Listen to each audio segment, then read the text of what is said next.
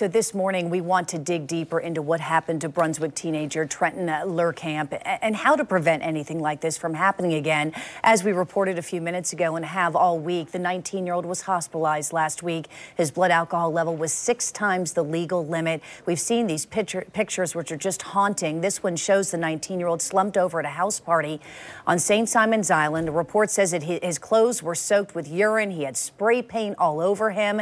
In that report, his father told investigators it's not the first time this has happened at a house party to his son, who he says was just trying to fit in. Lori Osachy is a licensed clinical social worker and is joining us live via Zoom this morning to unpack this for us. Lori, good morning.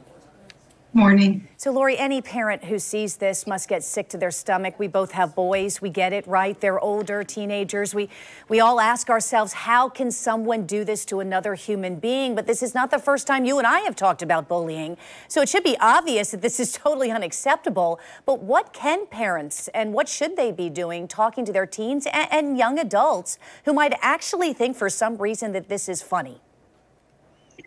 I I like to think that most kids are good kids and that most people would not think this was funny at all.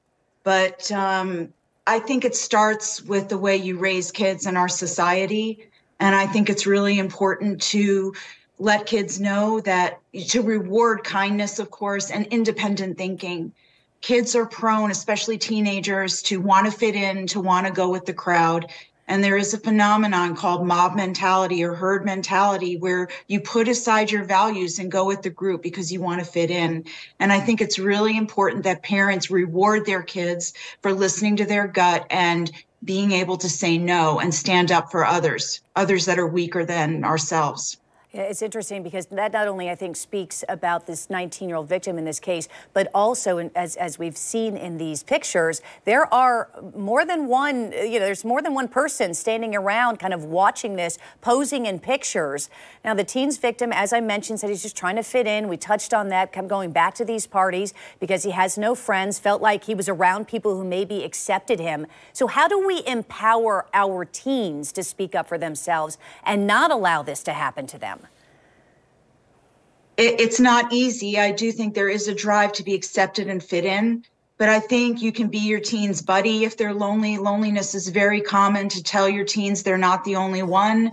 It's difficult to make friends. And even for people that it seems easy, it's stressful and that it will happen and to guide them to be in activities that that they'll meet nicer people. Now, I'm sure the parents did that. You can't, this was an adult, so you still can't help your kids from making bad decisions, but to help them listen to their gut too and not be afraid to wait for the right people. Uh, you know, I think it's so interesting because you, you bring up the point, and as we've noticed, I mean, Trenton is 19, so I'm putting my myself in his in, in his in his father's shoes for a second here. He's 19, he's technically adult.